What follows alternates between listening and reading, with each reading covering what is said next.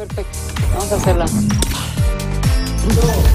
El secreto para que un personaje de villana no se repita, para mí me es muy importante la personificación, el vestuario, el corte de pelo, cómo me voy a disfrazar y después de ahí voy viendo la personalidad del personaje y siento que al hacer mi trabajo de mesa, hago mis mezcolanzas y nace el personaje ya en foro se hace la magia. Con la ayuda del director se empieza a tejer el personaje. Eh, Mi secreto para no repetir es que no me gusta repetirme, me encanta hacer las cosas diferentes y pongo una atención especial en eso.